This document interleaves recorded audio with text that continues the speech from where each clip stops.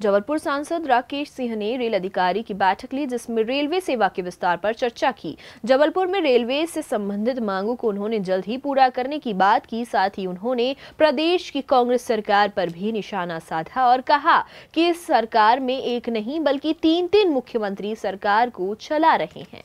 सांसद राकेश सिंह जबलपुर पहुँचे और रेल अधिकारियों की एक बैठक लेकर शहर में रेल सुविधाओं के विस्तारीकरण पर भी चर्चा की। इस मौके पर पत्रकारों से बात करते हुए सांसद ने कहा कि जबलपुर में जल्द ही रेल सेवाओं का विस्तार अपनी गति पकड़ेगा और यहाँ पर जो भी रेलवे से संबंधित मांगे हैं, उनका निपटारा अधिकारियों से मिलकर जल्द किया जाएगा।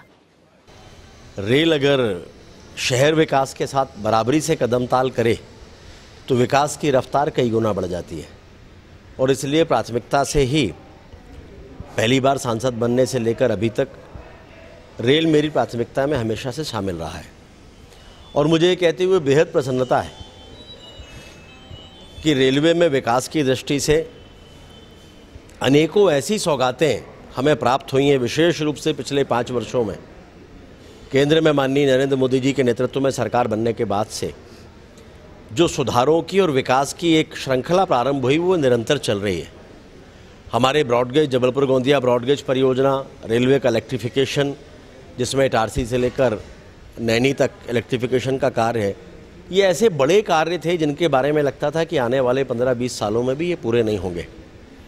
लेकिन देश में सरकार बदलने के साथ ही जो पैसा हमको एक साथ मिलना प्रारंभ हुआ, ये परियोजनाएँ लगभग पूर्णता पर आ चुकी हैं। जबलपुर में मदन महल में लगभग 25 साल पुरानी मांग थी कि नया टर्मिनल स्टेशन बने, वो भी स्वीकृत कराया, उसका भी काम प्रारंभ हो गया।